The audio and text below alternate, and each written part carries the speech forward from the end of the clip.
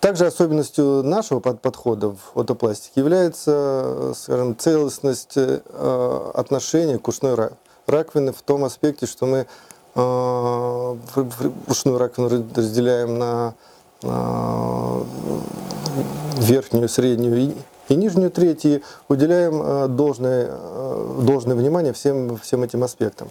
Э, Хочу сказать, что особенностью, отличительной особенностью э, нашего под- подхода к оперативной коррекции злополучности является в том числе и коррекция положения мо- мочки. Достаточно часто приходится видеть в в работе коллег, когда верхняя часть или средняя часть ушка исправлена, а мочки остаются оттопыренными. Э, Мы приводим к единству все, все, все структуры, и если если наш пациент э, не захочет сказать э, кому-либо о том, что была выполнена операция, об этом ни- никто не, узнает.